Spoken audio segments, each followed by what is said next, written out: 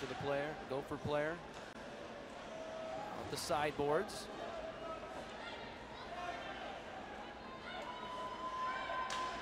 That is Alex Woken still trying to find something in front, inside. That is Sophie Skarzynski who gets the goal. And cuts Ohio State's lead in half. And it's not the prettiest goal, Jake, but it's a goal that'll get it done. It puts a point in the scoreboard, doesn't it? The great thing about that goal is if you watch Alex Woken do the replay, there's nothing much for it. She looks, there's nothing much, and she finds Sophie Skarzynski right in front of the net. Before, Woken wasn't finding anything, she was trying to get to the D,